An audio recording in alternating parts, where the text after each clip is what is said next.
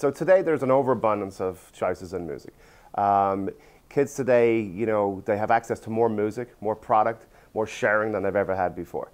Uh, but it's difficult. There's a bewildering array of options today. So how do you know who uh, the best artist is? How do you know who the up and coming music to listen to is? So we think the MTV Music Meter actually solves a problem. It's a new application that can be on a website, be on an Android phone, be on a connected television. And it's really about a list of buzzing artists out there in, in, on the internet, on social media, that you know, have been talked about or are buzzing. And it gives you a simple 10 list every day about who you should listen to. You can sample the artist. Uh, you can play a video. You can see what they're tweeting about. Uh, you can share it with your friends. Uh, you can even hit a button and find 10 similar artists and keep drilling down. So we think very simply that it solves a problem. And every day we want you to be able to dip into the MTV Music Meter and find new music. Why is this different? So I think if you look at a lot of the charts out there today, and we don't think Music Meter is exactly a chart. They're either curated by people or they're based on song downloads or record sales. So the meter is essentially we've partnered with you know some smart people from MIT, and it essentially parses a million records a day, everything from tweets to plays on YouTube and really anything that's accessible on the open web when it comes to mentioning or playing of an artist's music. So the meter is really based on activity in social media. And it's not just the most buzzed artists because in a way we'll have Justin Bieber, Lady Gaga and Eminem up there for six months in a row.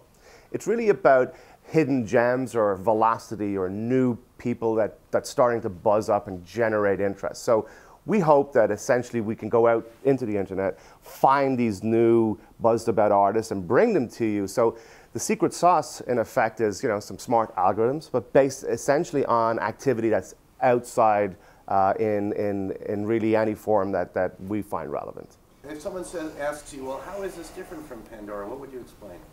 So Pandora, and we love Pandora. Pandora is a great service. I find a lot of my own music on Pandora.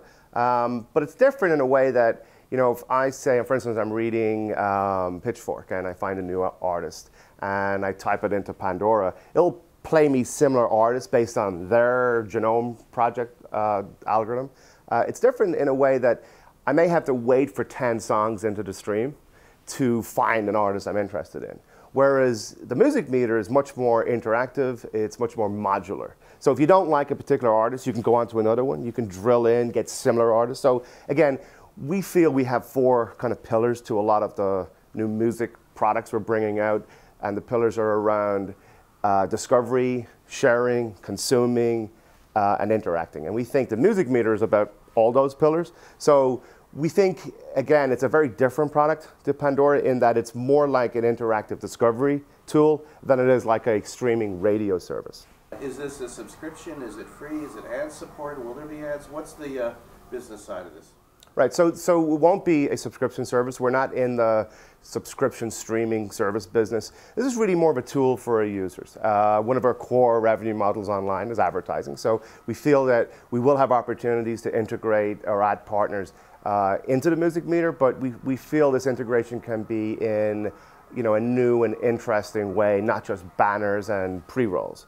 Uh, there may be a partner that might be interested in local buzz bands in Chicago, for instance. we feel that we can, you know, bring that type of service. A partner may be interested in a particular plate, uh, a particular kind of theme. So uh, an advertising partner may want to have, you know, upbeat rock and roll music to support one of their brand campaigns. And we think that, you know, we can create a buzz meter around that type of theme.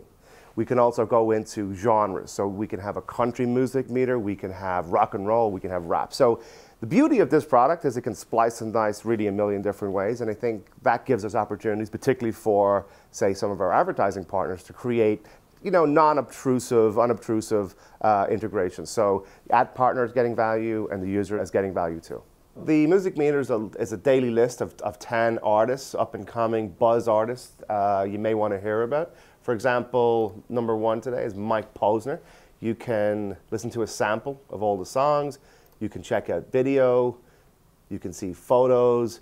Um, what we do like also is this ability here to hit similar artists. So we can hit similar artists. The music meter will generate 10 different artists like Mike Posner. Again, we can dr drill down, we can see tweets, we can see audio, we can see news. Um, and again, drilling down again, we can keep going forward until um, we keep experiencing different artists, different genres, uh, and similar artists to the ones that we started out with. So we think that you know it's, it's really the social activity around an artist all in one place. And um, again, it's a tool we're, we're very excited about.